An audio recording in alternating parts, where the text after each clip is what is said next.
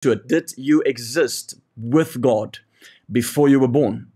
Was there a relationship between you and God before you were born? Now, a lot of people can fight and argue without any scriptural basis on this, and we're going to get into it tonight, and uh, we're going to prove our point, argue a point, a point uh, from a uh, really, really um, uh, solid foundation, and I believe it is necessary for us as believers and as a Christian Orthodox doctrine to understand where we come from and where we're going. Uh, does that remove salvation? It never. It never does. Okay, uh, you'll see why we're going to maybe get into why salvation came in tonight. It doesn't mean because we come from God that everything is fine. That's universalism. No, no, no. We don't believe. But our spirits do come from God. We're going to get into the makeup, the structures of the wording in Scripture. Uh, we're going to use Scripture to really. It's going to be a good message. I want you to stay tuned. Did God know you before your before creation? Did you exist before you were born? Did God know you, and did you know God? I did a I did a YouTube video and people did all this stuff on us and different YouTube videos and cut out. And how does this prophet say that you know he knew God before and well we did. The scripture is very clear. We can either choose to believe in the um, the uh, uh, undiluted word of God uh, the unchallenged word um, pure um, unadulterated uh, God breathed inspired word, rightly dividing the word of truth, being a faithful ministry approved, a minister approved by God. Uh, you know, using the word, I live by law sola scriptura. Uh, to a degree, to not. What I mean by to a degree, to not. Uh, what I mean by that is some people use sola scriptura to really become legalistic, but when it comes to to basing a doctrine, it has to be sola scriptura or scriptura sola, whatever they, however they pronounce it. But basically, uh, if it's not in scripture, can't base a doctrine on it. And scripture has to interpret scripture. Scripture has to interpret scripture. Very, very important. We did Bible study with all our people, with all our church last year when the church was closed, and we showed how to study your Bible, what Bible translations to use, what Bible programs to use. It's amazing. At the moment, I use a Bible program, for example, called Logos. Um, there's many other. There's Olive Tree. There is eSword. eSword is amazing because it's free, and you can get a lot of things. Just um, I love Logos because I paid for it for many years. Got a very big package, and I can really, literally, almost do anything on it. It's brilliant. The way it is advanced even now, you can really study scripture well, but uh, a lot of people can even study scripture wrong. So, you know, scripture has to interpret scripture. And when it gets to the New Testament, Old Testament, there are certain referential laws, uh, laws to reference. Um, the Old Testament is there to back up the New Testament. It is there to solidify and to reference. A lot of people want to preach the New Testament without referencing to the Old Testament, and those are very important principles, very important laws when it comes to studying Scripture. So, you know, and uh, uh, uh, this is, and we can't preach the Old Testament without a New Testament attitude or a New Testament um, uh, uh, uh, uh implication or a New Testament dispensation. So we can pre- a lot of people try to preach the Old Testament, the un- the Old Covenant, without a New Testament dispensation, dispensation of grace mindset. And when we do that, we really misinterpret Scripture. We take it out of context. We become legalistic, and we simply preach the letter, the law that brings condemnation. So, uh, so let's get let's get into this meeting. Did you exist before you were born? Did you exist with God before you were born? Did you uh, did you have a life with God before you were born? And uh, you know, in order for us to look at this, I want us just to look at a few points, and then we're going to close off and now in terms of a good uh, foundation, a good uh, conclusion. But I want us to go to Genesis chapter number one, verse number twenty-six. Genesis chapter number one, verse number twenty-six we have to look at where we originated, where the human spirit originated from. What is the original intent that God had for us? What was the type of wording that was used? What happened to Adam? What happened to Christ? What does the Bible say about Adam? What does the Bible say about Christ? And uh, if we go to Genesis chapter number 1, verse 26, we'll see.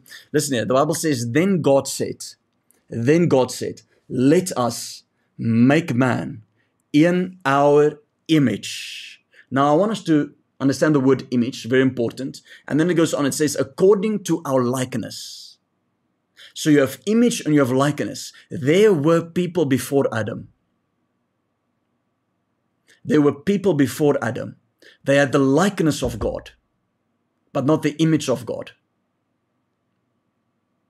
Adam also lost the image. Christ restored the image. But there were people before Adam. They had the likeness of God, but not the image of God. We see this in the fall of uh, Adam and Eve after they fell, and we see this with, I believe it was Seth, and the Bible says that when Seth got children, they were in the likeness and image of God, not the image and likeness. No, Seth, yeah. It says in the likeness and image, not the image and likeness, and we see the whole thing turned around. So let us make man in our image according to our likeness. Let them have dominion over the fish of the sea, over the birds of the air, and over the cattle, over all the earth, and over every creeping thing that creeps on the earth. So God created man in his own image. In the image of God, he created him. Male and female, he created them. So we need to understand that the difference between image and likeness, spirit and body. The body is formed, the spirit is created. The body is formed, the spirit is created. The body is formed from the dust of the earth. The spirit man is created way before the body was formed. Uh, the word likeness means it, it alludes to a form and a shape, function, walking, talking, that type of function. But the word image is a resemblance, a figure, a rep, almost a di- direct representation, a direct copy.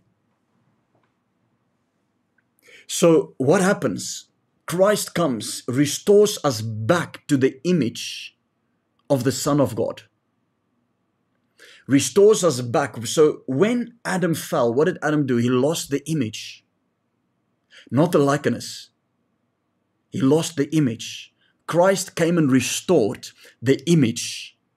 Once the image is back restored, you have authority again. You're right aligned with Christ, with God, with Christ the image of God is back on you. The identity, the original intent, destiny, and purpose. When the devil looks at you, he sees the image of God. Why was there no devils manifesting in the Old Testament except for David? When David, uh, or devils cast out, except for David, David made, made Saul manifest and an evil spirit left him. But why were there no devils cast out? The image was not restored. When they saw the Son of God, they saw somebody whom has the image restored, the image of God. And devils began to realize they no longer have authority. That image was given back to us. So when the devil looks at you, when demons looks at you, what do they see? They see the image restored. The image of God. We are sons of God. We are not created sons of, oh, sorry, we are not begotten sons, we are created sons, although we have been begotten through Christ. We are created, Christ is begotten. So Christ is the only begotten Son, we are created sons. Some angels are sons of God, some are not. Uh, uh, uh, so let's go to Genesis chapter number 2, verse 7. Genesis chapter number 2, verse 7. Listen to this. And the Lord God formed man of the dust of the ground and breathed into his nostrils the breath of life. And man became a living soul. Man became a live, living soul. The word form is means that the body of Adam was formed from the dust of the earth. It was a body that was laid lifeless then something happened. God came and breathed the breath of life into the body. So the breath of life, the body was a clone, if you can think of those movies. Like a surrogate body almost, like a clone body just lying there, dead. When Adam was created, the body was dead, was formed. Until God came and breathed the breath of life into him. The word breath, neshama in the Hebrew, neshama. It means a wind it includes divine inspiration and it means soul and spirit in other in other places in the Old Testament. So it means a wind, the breath of God. It's divine inspiration, soul and spirit. But then I want us to go further. It says the breath of life, and man became a living being. The word life and living being there is what we call the word chai. Chais. C H A Y is shy, chais, which means living lives. It means the life force.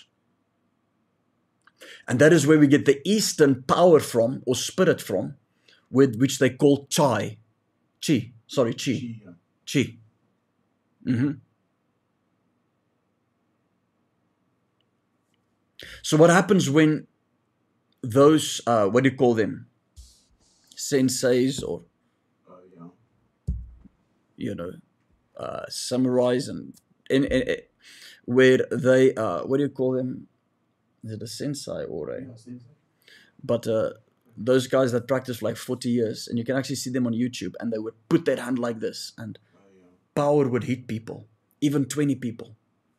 It's like they they move better in the in in in in in, in slaying slaying people than than uh, than some ministers. what is it? It's soul power. Soul power. It's chi. Yeah. They still practicing their chi. But where the devil cannot create anything unless it comes from God, but it's perverted. So chi is actually biblical, but please, we are not endorsing chi. We are just saying the devil cannot create anything. He perverts it. Chi comes from the original breath of life. It's the soul. So when they operate in that, they operate in soul power. And that, op- that opens up the doors for demonic power to come in, of course. But it doesn't remove the fact that it originated from God, chais, the breath of life. And even when you look at the tree of life, the tree of life, the word life, chai. The breath of something is his character. Uh, let's just leave it at life force. It's the very soul you have, meaning that Adam was lifeless, he was dead, lifeless. And then a spirit came into him. Then life came to him. Then life came to him. So we see that the breath of God, in fact, that word breath, neshama, speaks of an eternal breath. Eternal. Let's go to Leviticus 17, verse 11. Leviticus 17, verse 11. Listen to this. Leviticus 17, verse 11. It says, For the life of the flesh is in the blood, and I've given it to you upon the altar to make atonement for your souls. For it is the blood that makes atonement for the soul. The life of the flesh is in the blood. And I have given it to you upon the altar of atonement. God has given it to us. And we're going to look now how this life was given by God. And that's all good. But we were alive before. Now people are like, but why can't we remember? And this and that. Because we are interdimensional beings. There's no difference between you and an angel except the fact that an angel doesn't have the redemptive power of the blood. Why did God not destroy Satan? Why did God not destroy Lucifer when what happened happened? Yeah. God cannot destroy a spirit. He can only separate a spirit. There are different laws. And please, when I say God cannot destroy a spirit, I am not speaking of, uh, or I'm not removing his divine attributes and qualities of omnipotency, omniscience, and omnipresence. He's a divine quality of omnipotency because he created the lake of fire. But guess what? They're not destroyed, they're still alive, just burning forever.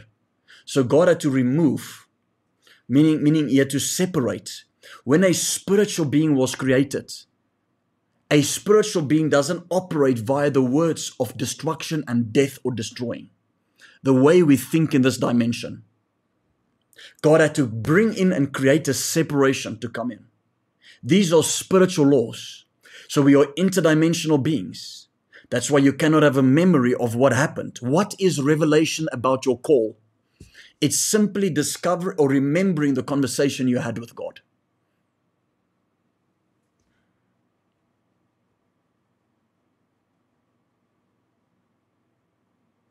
And what I'm preaching, when I'm saying this, like you're remembering a conversation, it's not a doctrine. I'm speaking to you revelation, but I can base a lot of scriptures on it.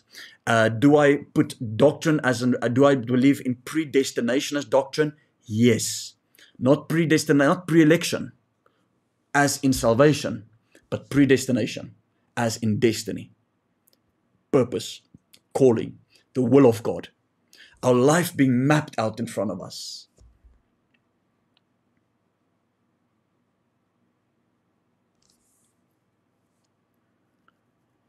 So, meaning that the life of the flesh is in the blood. It's not the blood, it's in the blood.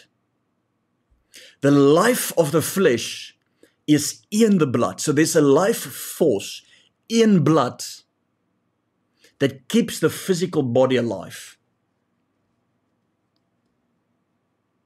Uh,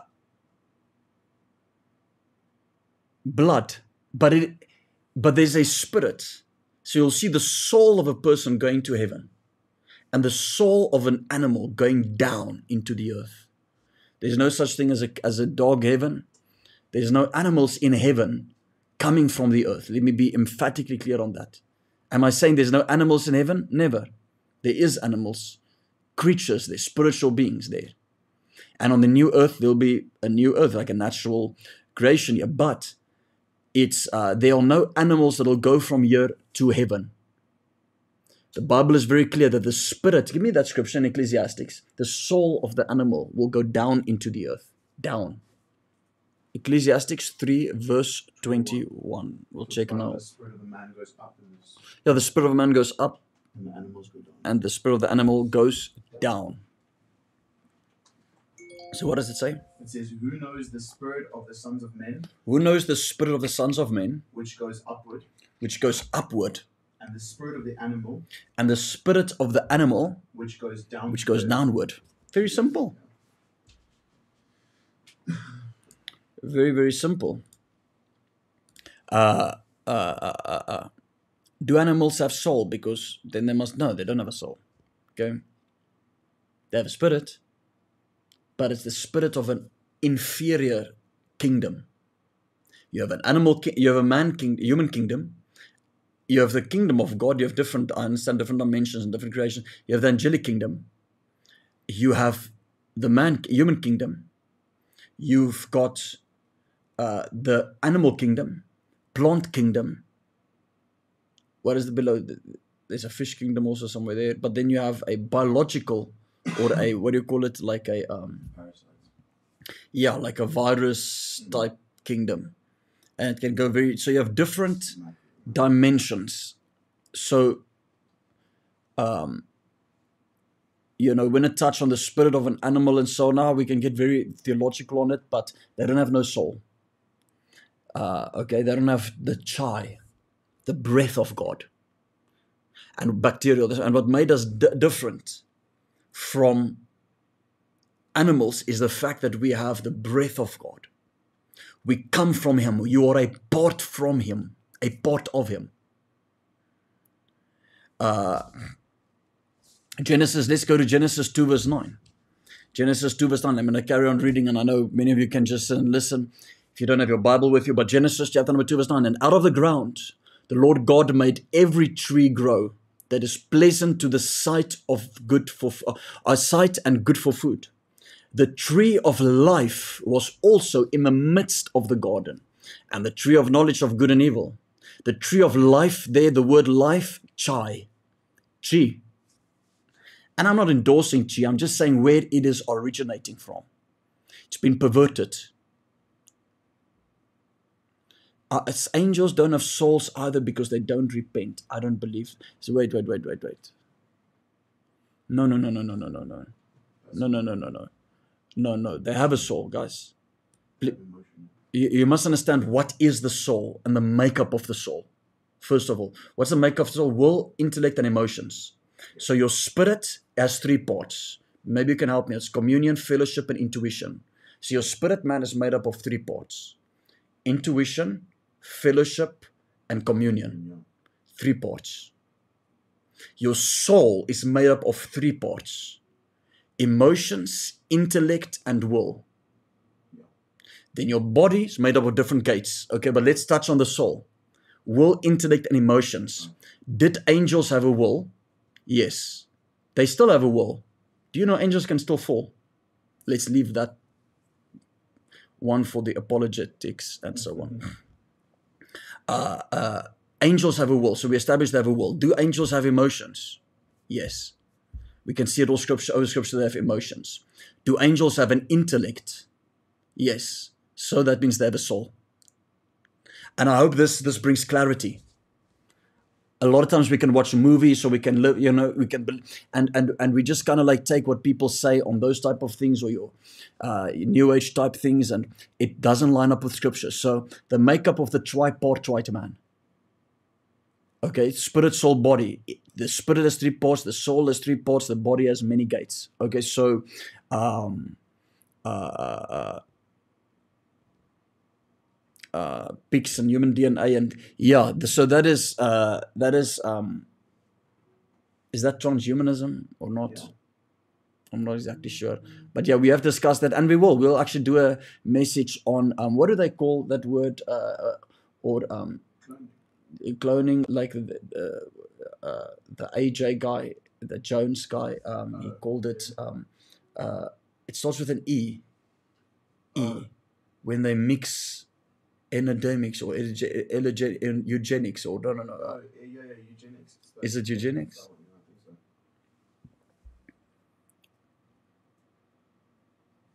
So how come if angels have soul, why don't they die die like people? Yeah, that's it's eugenics. They don't. Selectively. Guys, people don't die because they have a soul. People die because they have a body. Listen, let me help you here. And this is good because it's relative to the subject. People don't die because they have a soul. People die because they have a body. Am I right? Yes. You live forever. You have a soul so that you can live forever. Yeah. Your soul will be cast into hell. And you'll still live there. I hope this makes sense. I hope this helps you guys and makes sense. Because when it comes to spirit, soul, body, a lot of us are influenced with New Age. A lot of us are influenced with angel, uh, with uh, with angelic uh, doctrine. What I mean by that is like your New Age type angel things with worship, and and uh, people just you know they use wording like soul and they mix it with spirit, and people don't really understand that. So it, it's good to clarify that, and um, I hope that you understand. I don't mean that in any way bad. I'm just answering to to help, and you cannot speak confusingly on this. You'll see. What do I use? I use scripture. I, you know, when it comes to spirit, soul, body, I know that that one very well. So why do people? Why do the body die, and we do what? Why do the people's body die, and how do we know our soul will stay alive? We know our soul will stay alive by by believing in the in the word of God. Number one, um, that's that's actually it. You know, um, Lovina. So so why do the people's body the body die? Because it's a natural body. Your dog dies. It's natural laws. Your body has to die. The paul says in the book of corinthians this body has to go back to the dust. It has to go back to the dust.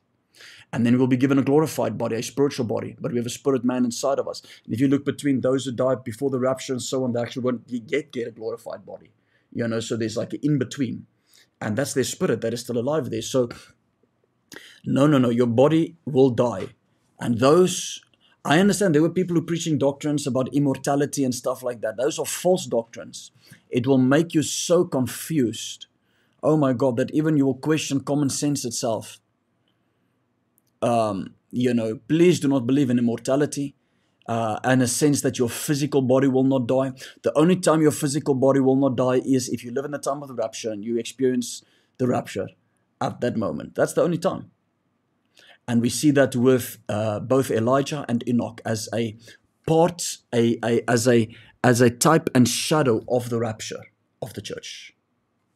It's very good to believe in the rapture. It is. We must believe in that.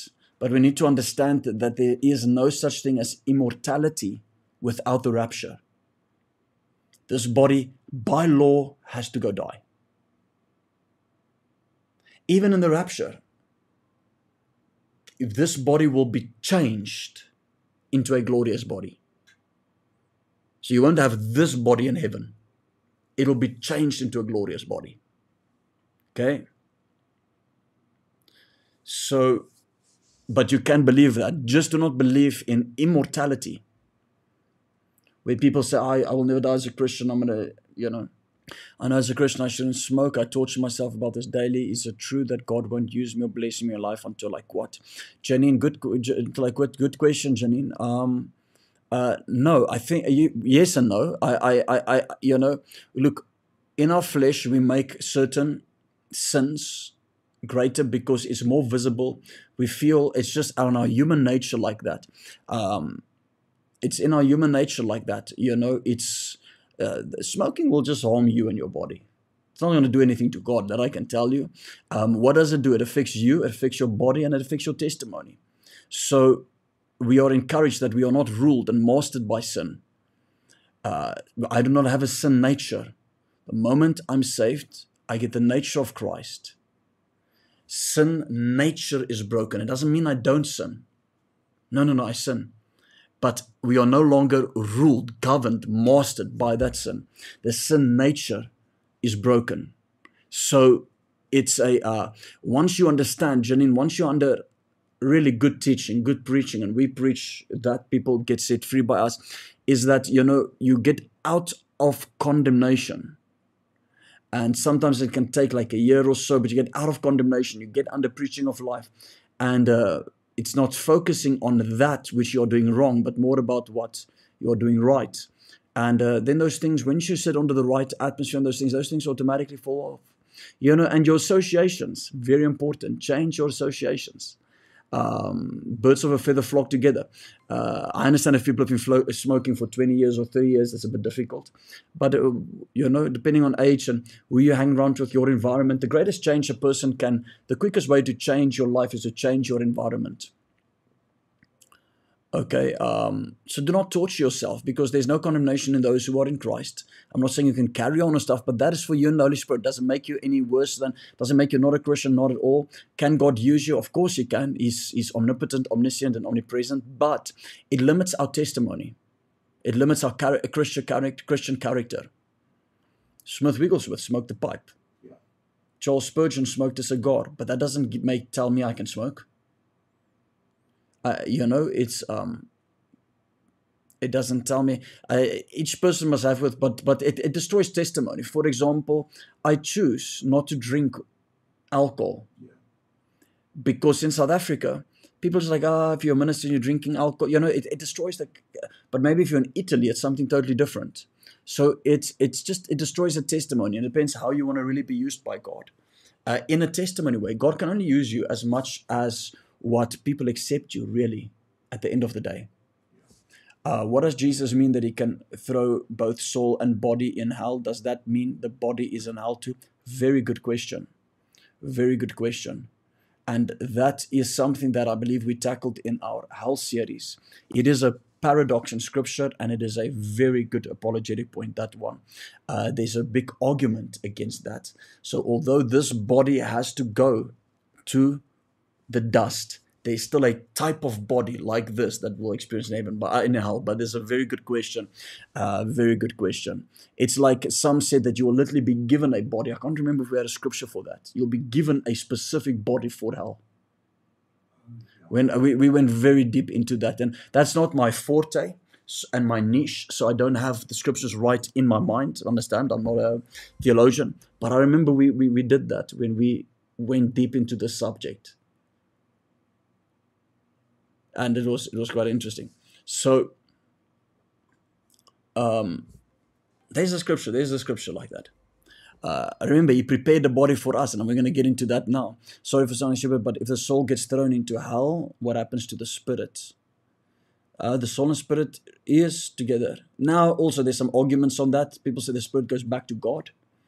Um, there is an argument. We believe the spirit goes back to God for judgment and then gets sent. So there's a mixing. Remember, when the Spirit of God came in, and especially the baptism of the Holy Spirit, there's a mixing between the soul and the spirit. Prophet is being proud and having pride the same thing. No, no, it's not. A lot of people can say, I'm so proud of my son, and so on. There's nothing wrong with that.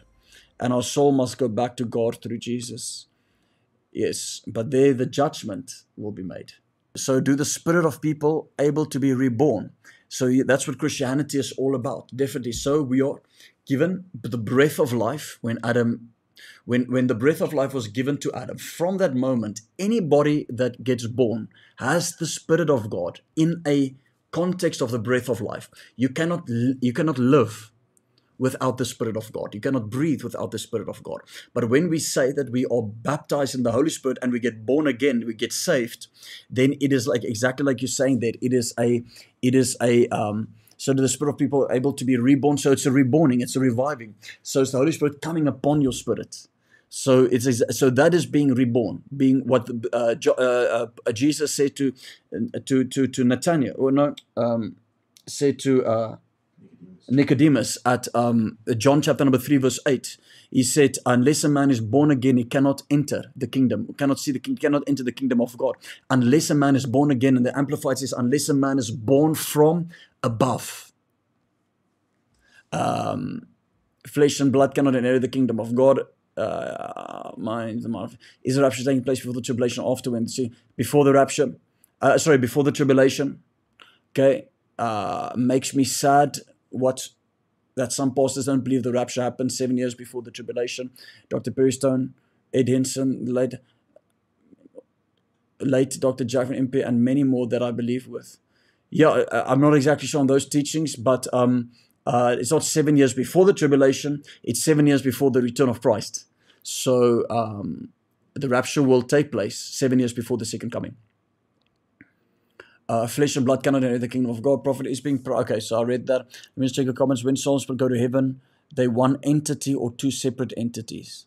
Very good questions, and we tackle those things. It is um, it's very difficult to to to to understand that dynamic, but the way of just really understanding it, it'll be together. You you understand? Although it's two separate entities. Um, but it's very difficult because the Bible doesn't clarify this is how it will be in heaven and so on. We can just go on what is the meaning of spirit, what is the meaning of soul, what is the what is the uh, definition of spirit, what's the definition of soul, the tripartite of man, the spirit which is the fellowship, communion, and intuition, uh, and then you have um, uh, the soul which is uh, will, intellect, and emotions, and you have the body, so this- which is the different gates. So awesome, awesome, awesome. So let's go on. Let's go on. Go with me to go with me to Revelation chapter number twenty-two, verse two.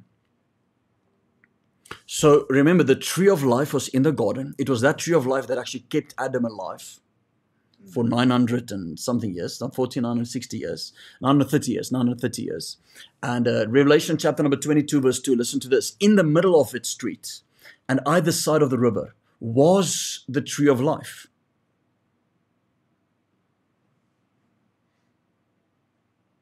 Which bore 12 fruits, each tree yielding its fruit every month uh, which the word tree is not really in there, so each yielding its fruit every month. The leaves of the tree were the healing of their nations. Verse 14, listen to verse 14. Blessed are those who do his commandments, that they may have the right to the tree of life and may enter through the gates into the city. But we see the tree of life giving fruitful, and we see how this was the tree that kept Adam and Eve alive, or Adam alive before uh, Adam and Eve alive before their fall. Uh, uh, uh, uh, I want us to go on. I want us to go on. Go with me to where's that verse? Can you read for me? uh, sorry, I've got a bit of silence. It's not like that. Can you go with me to Romans 8, verse. Just read me verse 26. Let's what Romans 8, verse 26. How are you? Did you exist before you were born with God? It says, likewise, the Spirit also helps us in our weaknesses. Likewise, the Spirit also helps us. in weaknesses. Carry on reading. For we do not know what we should pray for as we ought to, Mm-hmm. but the Spirit Himself makes intercession for us with groanings which cannot be uttered. Carry on. Uh, now, He who searches the hearts knows that the mind of the Spirit is, knows what the mind of the Spirit is, because He makes intercession for the saints according to the will of God. Verse 28. Where am I now? And we Verse know- 28. Yeah, yeah, yeah, yeah. And we know that all things work together for good to those who love God, to those who are the called according to his purpose. Mm-hmm. 29. For whom he foreknew. There. For whom he foreknew. Proginosko. Yeah. Proginosko. Yeah, that's Um, give me that Greek word. This is very important.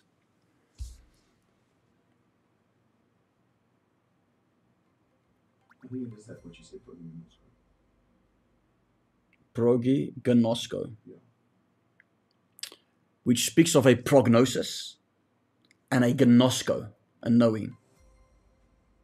That is why we get the word for new, for knowledge, prognosis, and a knowledge being put together. Uh, sorry, when the scripture says foreknew, Yeah, prognosko. proginosko. Yeah. What does it say again? The scripture, what does it say? It says, For whom he foreknew, For whom he foreknew, he also predestined. he also predestined. So just stop there. So there's predestination, but before there's a predestination, there's a foreknowledge. So hold on. These are two separate and two different situations that takes place before birth. The first one that is taking place is what we call foreknew, foreknowledge. This is God having a prognosis of a knowledge about you, but it's not Him only foreknowing you.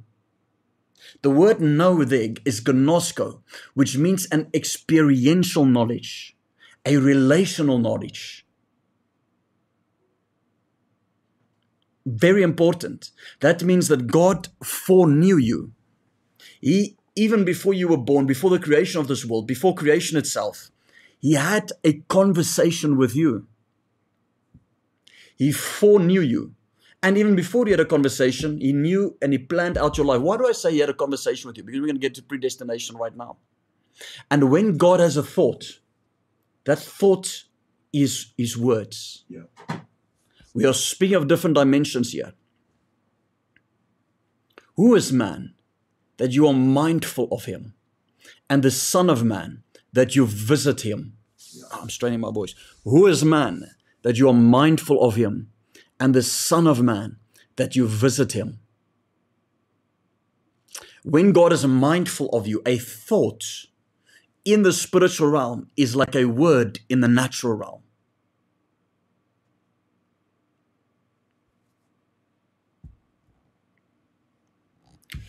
When we say that in the spiritual realm, again, I'm saying, and I can make YouTube videos, but again, I'm saying the devil cannot pervert, uh, cannot create anything, he perverts. So let's touch on telepathy. Telepathy is the language of the fourth dimension when you are in heaven. Sure. You'll be thinking and it'll be happening.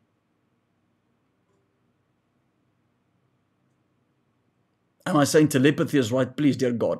No. When we do those things, and I'm sitting and I'm thinking, let me speak to David in my mind, that's soul power. Yeah. And I want to make that very clear.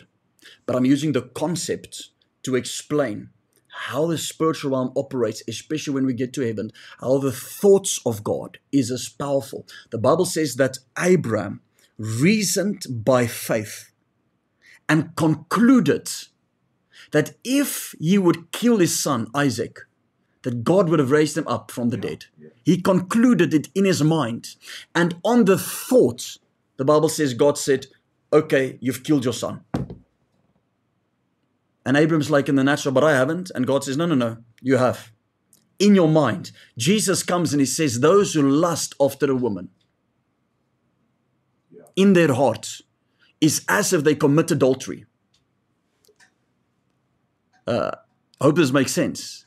So now the scripture where it says, As a man thinketh in his heart, so is he. As a man thinketh in his heart, so is he. He doesn't say, As a man speaketh. As you are just thinking, that is who you are.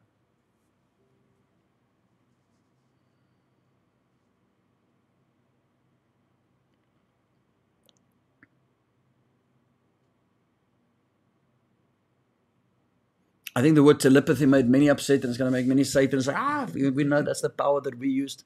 I've never said I do it. it. That is soul power.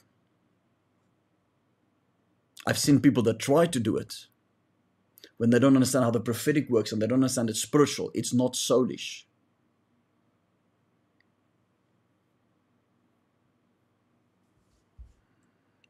Ezekiel was sitting with his wife, yet God took him into another place for seven days while he was still. I was looking for that scripture. Did we ever find it? Ezekiel was? When he was sitting with his wife and he was taken into Jerusalem for seven days. Wasn't it Jerusalem? Yeah. Yeah, yeah. It was um, where he was teleported. Yeah. It just says the hand of the Lord took him. Yeah. A friend argued once that the soul stays in the grave until the rapture according that's called soul sleep. No scripture reference for it. Soul called soul sleep. No scripture reference for it. Um,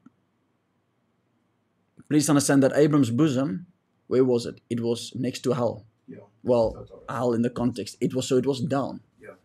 And there's a whole another thing when we get onto that. yeah. Uh, Jesus led them from there when he went down. Yeah, but there's another there's another thing. Uh, that's why the Bible says the earth ate up, swallowed up. People couldn't go up. The only people that could go up was Enoch and Elijah. There was no up. Yeah, sure. They had to go down because their down was their heaven. Until they were given a fair chance for salvation. Not one person will ever say they were not given an opportunity.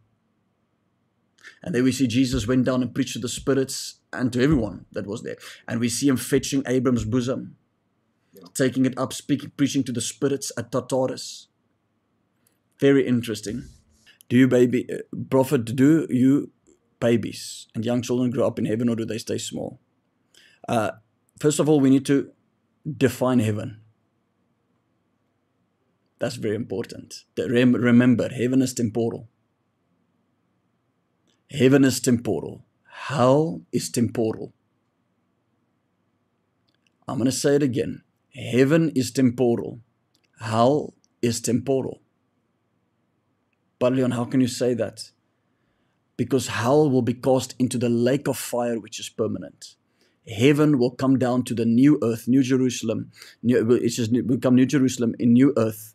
So heaven will only be temporal. So we have to define. We're going to be in a natural world again.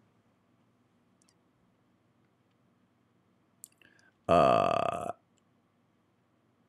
what are people saying? Okay, one more question. When we die, have we conscience, right? So I assume, according to the ND stories I've heard, so we have consciousness also. I would never believe the ND stories. Believe the Bible, guys. Very important. Remember, the devil can also give you experiences. Many NDE stories is, is unbelievers. You can use it if it's believers. You can use it a little bit, but always base it on the scripture. I know somebody who died who just saw black. Now, if I take that, it's going to confuse my faith. You know. Um, why can a person still have a dark, sinful, or negative thought whilst knowing it's not a thought in their heart, a desire, need a spiritual attack? Because there's a difference between a thought in your heart and a thought in your mind. Um, and we have to renew our minds. We have to renew our minds by the Word of God. It's a process. Our spirit is saved instantly, our soul is being saved, and our body will be saved. If we are soul sleeping in the grave, then what does it mean? Abs- I'm saying we are not soul sleeping, guys. Please understand me. I don't know if I'm not clear enough. No, you're clear. I never said we are soul sleeping. Never said we are soul sleeping, so I don't even know what it means. What it means is simply you just lie there and you wait. Okay. Okay. Bible says to die for man once and then the judgment. Uh, can people from heaven see us here on earth and pray for us? Very good question. Very good question, and quite an argument that I have on that. Because the the Lazarus said, "Go and tell them," Yeah. as if he couldn't see them. So there's a great argument on, on, on that one. We we think of heaven as the dimension we are in right now, and because of that we limit. And a temporal uh, hell. Temporal hell is simply because the terminology hell is temporal, and then it will be thrown into a permanent lake of fire. When we say heaven, we're speaking of a spiritual dimension, but that will come down onto a new earth and in the form of New Jerusalem. And that is why heaven is temporal, because it'll only be there for a moment in time until it comes down into the new earth. So we just always say heaven, but we actually, you know, theologically, it's totally different. So that's what I mean by temporal. Uh, so what's the difference between a trance and a dream? Totally different. A dream is when you're sleeping, a trance is when you're awake. Uh, let's get to foreknowledge, foreknew. Romans chapter number 8, verse 29. It says, He foreknew and predestined us. So the word foreknew is God had a foreknowledge, a prognosis knowledge about us. Then he predestined. The word predestined means he created a destiny for us, a destination. And then we were sent on that assignment. You were sent on this earth for a mandate, an assignment, a purpose. No general, no uh, uh, uh, no military uh, officer, no military general sent somebody on an assignment without that person knowing what the assignment is about. So when you discover your destiny and purpose on this earth, it's because you already knew it. You just had to discover it now because you are a spiritual person who is experiencing a natural disposition, if I can put it like that, a natural experience. So, foreknowledge. Let me just explain this. So, let's say, so God foreknew us, whom predestined us. What is predestined? Predestination. Scholars break this up in quite a few different things. And a lot of people, when we use the word predestination, they think we mean pre-election for salvation. Doesn't mean that. It doesn't mean that. It doesn't mean that. So scholars believe that when you are foreordained, predestined, that it means that God has foreordained everything that will happen in your life. And number two, some of them believe that it means of salvation, and they use that view. They take scripturally to say about Paul. They use Judas. They say Paul was predestined to be saved. They say Judas was. Um, the Bible says that he went into his own place. He was. Uh, he fulfilled scriptures. He had to. It had to take place, and they use that as, as. Um, pre-election you cannot because that is and then they take the false prophet and the antichrist to say you know but they are pre-elected you're so we must understand that the antichrist false prophet is re-elected uh, sorry is pre-elected for damnation. Because they are not human. I'm going to say it again they're not human. There's something called the seed of the serpent. The antichrist have to come from the seed of the serpent Very important. He, it will be impossible for him to be saved. Yes, it's so there's no like, oh, shame, this person. No, it's not a person. The seed of the serpent, Nephilim.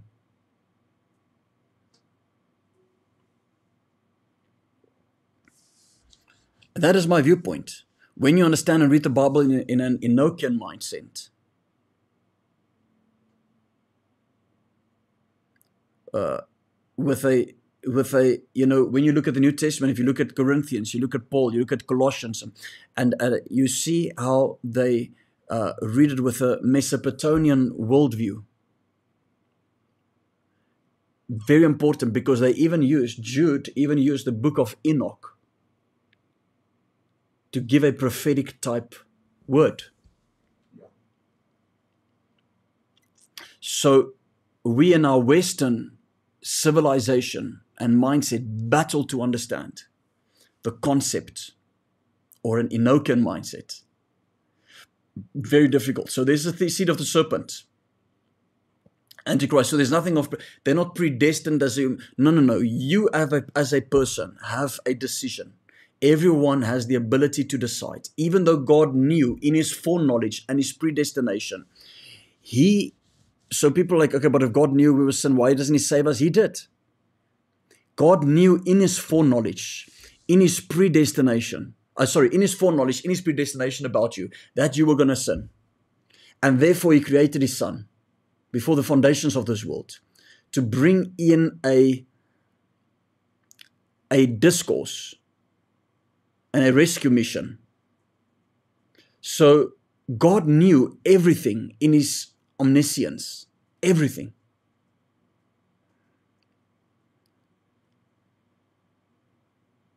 Hence, that's why he sent his son. Uh, if if there was predestination or pre-election to salvation, there would be no need to preach the gospel. So a lot of Calvinists believe this that only some will be saved or some don't have to cannot get. It's a Calvinistic mindset. Um, then there's no need to preach the gospel. Then there's no need for the Bible to say that the gospel needs to be preached. There's uh, there's no need for that. Um, the, if that was there was no there would be no need for the crucifixion there would be no need for Christ to have died for sinners. There would be no need for his blood if, the, if pre election even comes into play. So, just as Esau willfully chose to give up his birthright, every single one of us have a choice to accept the message, to repent and be baptized. Very, very simple. Uh, so, the word foreknowledge basically means to be known in heaven that God had a knowledge about you. Jeremiah 1 verse 5.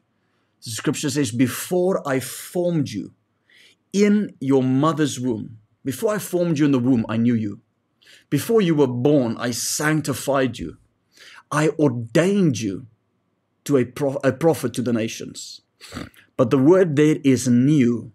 Before you were formed in the womb, I knew you. I yada you. Can you read me Jeremiah 1 verse 5 out of the King James Version? Uh,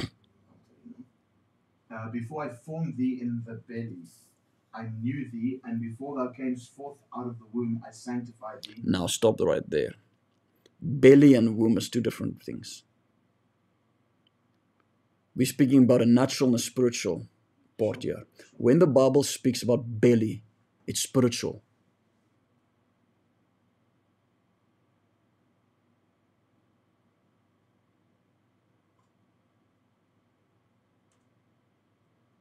What is the belly of the earth? Isn't that hell? Yeah. So I want you to read Jeremiah chapter number 1, verse 5 a little bit differently because there's a formation in the spiritual and there's a formation in the natural. In the natural, God prepared a body for us while He formed every part of us. So, so, so, foreknowledge, you were known in heaven, you were set apart, you were called, you were commissioned, ordained mandated by God. I remember when when when when we planted the church, I had an encounter with an angel, and uh, uh, uh, and with that, I never need man's approval or anything like that. Uh, that was an encounter with an angel. But in that encounter that I had with that angel, that experience I had with an angel, I remember being taken into another place instantly and I was in a military recruitment, like a boot camp, and a spotlight went on on me. And as the spotlight came on me, I saw everybody with was all in military clothes, listening to generals and sergeants. Everybody gave way, and there was a spotlight on me. And as the spotlight was on me, the uh, the general on, on on that was like sending orders and giving people orders pointed at me, and said, "Now I want you to go." That was directly, when I say split second, while I was still walking and talking with an angel. It was like, and I was gone into another place. Spiritual things is very difficult to explain. And then I was taken from there into another place. This was just my sending of uh, of of of um, ministry. I had a clear cut encounter with God. A lot of people want to do ministry or they want to do plant a church etc. without an encounter. It's it's not the measure of your encounter and the the revelation or the rhema word given to you is the measure that will carry you through times of trouble because it is that which gives you faith. If you're appointed or promoted by man, you're not going to be able to carry a divine call and stand through the prom- through troubles that will require power versus power. So I have sanctified you, set you apart. I've yadaed you. The word yada is a knowing. It's a sense of seeing, but it means a, a experiential knowing. Uh, uh, let's go. Let's go. Let's look at Jesus' life, the pre-existence with Christ. John, John one verse, John chapter number one verse one. John chapter number one verse one. Listen to this. Listen to this. In the beginning was the Word, and the Word was with God. Now listen to this. And in the beginning was the Word, and the Word was with God and the word was God. He was the begin he was in the beginning with God. All things were made through him, and without him nothing was made that was made. In him was life, and the life was the light of men. And the light shines in the darkness, and the darkness did not comprehend it. There was a man sent from God, whose name was John. This man came for a witness to bear witness of the light that all went through him might that all went through him might believe it says that christ was the word meaning that christ existed before he was on this earth John chapter number 8, verse 56. John chapter number 8, verse 56. And I want you to just listen. I know you might not have a Bible to turn to. John chapter number 8, verse 56. Your father Abraham rejoiced to see my day, and he saw it and he was glad. Verse 58. Listen to this. Jesus said to them, Most assuredly I say to you, before Abraham was, I am. So he said, Before I was born, I existed. Now, I'm not putting you in the place of Christ, I'm just looking in the case of Christ. I'm not putting you in the place, I'm just looking at the case of Christ. It is illegal for a spirit to dwell on this earth without a body. It's illegal. Why do you think demons are hunting for a body? They need a body. They lust after a body. They want a body. They are disembodied spirits.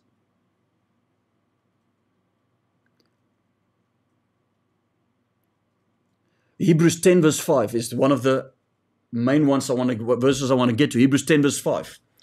Therefore, when he came into the world, he said, Sacrifice and offering you did not desire, but a body you prepared for me. The word prepared there means to frame and join together. He said, When I came in, you prepared a body. Let me tell you, you were alive long before your body was alive. God prepared your body for the function, uh, sorry, for the purpose that you were created for, not born for. There's created and there's born. If you are black, it's because of purpose. If you are white, it's because of purpose. If you have a body that is deformed, the Bible says, uh, uh, uh, uh, uh, let me not get for the glory of God. Let me not get into that verse, but let me Lord, There's a lot of people that have like Down syndrome. Am I saying it's the will of God? No, but many of them are bringing glory to God. A body has been prepared. I'm not saying at all. I know people with Down syndrome, children, and I'm not saying at all that that was God's will. Not at all. But God uses all things to prepare uh, for the good. Uh, God turns out all things for the good to those who love Him. He uses all things, um, uh, works out everything together for the good. So, but a body was prepared. A lot of people are not accepting of their body. Now you have plastic surgery. You have all this stuff. Really, we have a life, at a soul, a spirit, we're born on earth. Yes, so Levina, we're preaching. The, so everything we're teaching is in scripture. I'm giving scripture references for this. Once you have an encounter with God, you will get revelation that, hey, I was alive.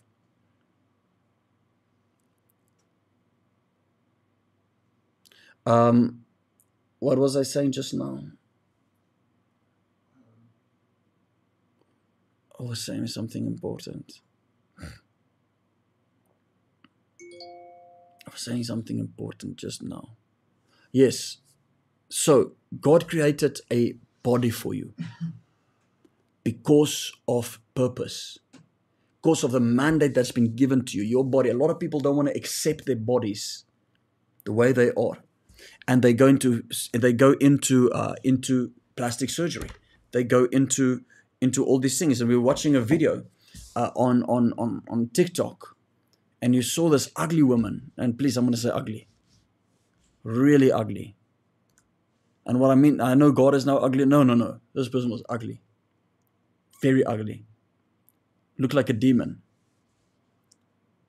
And uh, then they put makeup on. And after you see that they put makeup on, you'll be like, but this is a model. Oh, yeah, I saw that. and you can see how really from the teeth to ev- that person yo i thought i was seeing a spirit when i was looking at them. So bad it is. And then makeup changes. Now please i don't say you must accept your body like that. Okay. But i mean you know with makeup these days you don't even know anymore. Uh, that's why men must be careful with dating. The swimming pool test. the swimming pool test. Um, no, tattoos count as plastic surgery. No, I, it, it comes down to the intent, I would say. If I get a tattoo, it's not because I want to change the world. I, I, I, uh, if I get a tattoo, it might be because of a reminder of something or a, you know, something like that. But plastic surgery is because I'm not happy with the way God made me. Now, I'm not speaking of plastic surgery for medical purpose or reason. I'm speaking of the trend where people are no longer happy. And what happens is they try to find happiness in something else and they don't get the satisfaction. They, they, they never accept who God has created them to be.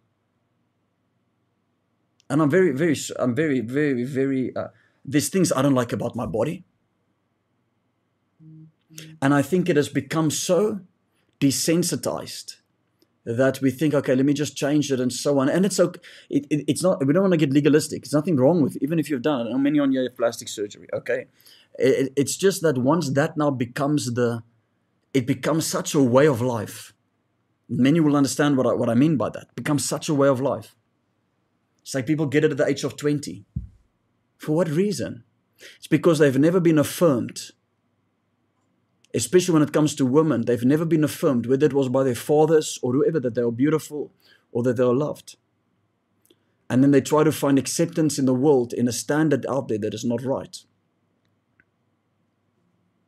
And they end up more insecure. They end up more messed up, damaged.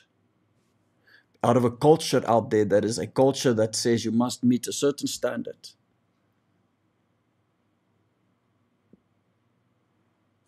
So I'm not saying you can be fat and then everything's fine. Be, like go on diets and be fit.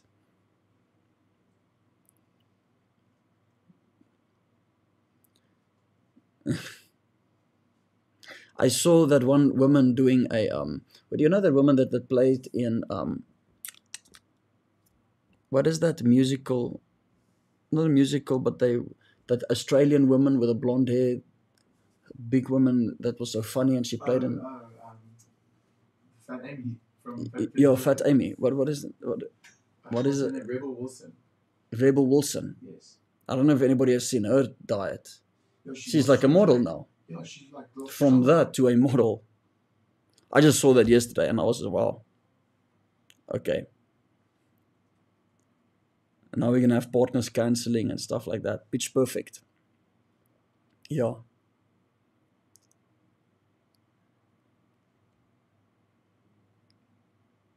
The testosterone and, I'm speaking of testosterone when they are perfectly healthy.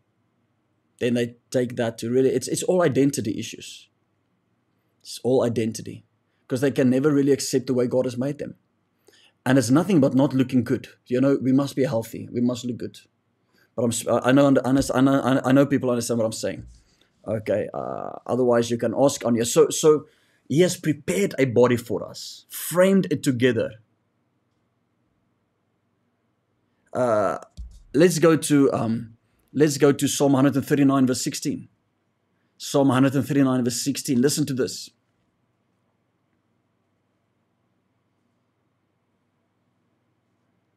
Once you have an encounter with God, you accept who you are. Yes, you can change and you can become healthy, but you accept who you are. And that acceptance brings security and brings peace. And only once you can love yourself can you love others. Yeah. When you do plastic surgery, you don't love yourself because you're not happy with yourself. And I'm saying plastic surgery in the culture and the attitude of just wanting to, to, to fit a certain image and meet a certain requirement. It's very dangerous. It's very, it's very, um, it's very wrong for your soul. Very wrong for your soul. Very unhealthy for your soul.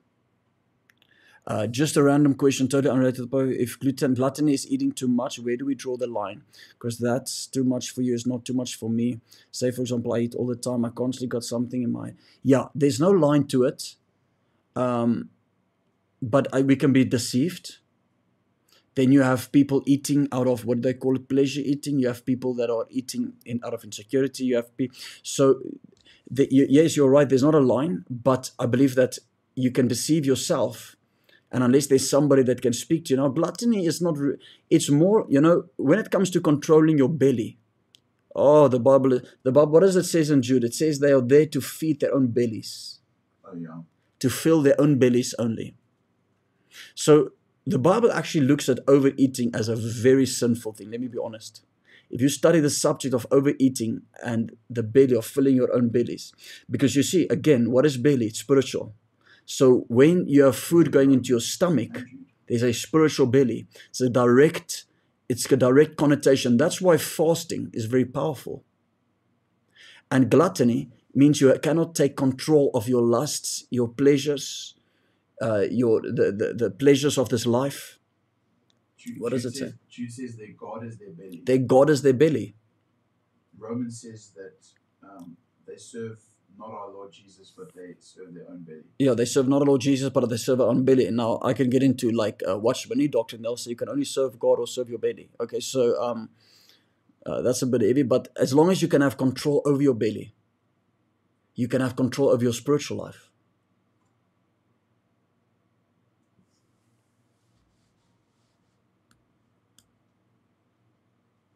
When I've seen people change from drugs to food, still an addiction. So your spirit is created, your body is formed. Psalm 139, verse 16. Listen to this. Your eyes saw my substance, David said, yet being unformed. So David is saying, I had a substance before I was formed. You didn't only even think of me, I was there.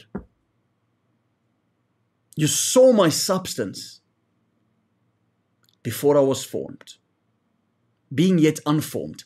And in your book they all were written, the days fashioned for me, when as if there were none of them.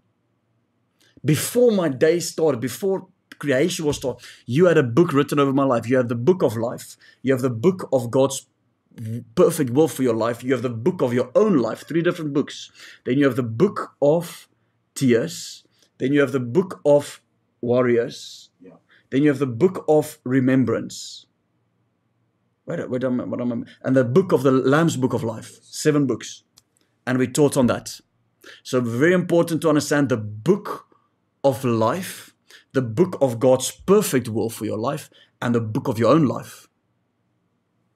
Very, very important to understand the difference between those three books. So, so, so David said, "Before I was even formed, you saw my substance." Meaning, you were even when God just had a thought about you, you were already existing. David wrote in Psalm 139, Psalm 139, 139 verse 13. For you formed my inward parts, your, my spirit. You formed my inward parts. You covered me in my mother's womb. I will praise you. He created his spirit, but there's spiritual realities that was formed, that was with coming a womb, coming into life. For I am fearfully and wonderfully made, marvelously our works. Uh, I was skillfully put together and wrought in the lowest parts. Can you remove the website? The website is still on here. Uh, lowest parts of the earth. So there is an argument where people saying, okay, when does life come into a when does life come? Does life come at conception? Does life come six months after conception? Does life come at birth? Uh, when the child takes the breath, uh, when they are breathing, uh, uh life comes at conception according to scripture. It's alive. The child is alive at conception, and there's too much scriptural backing for that. Life doesn't even come at conception, life comes way before it. You're alive before it.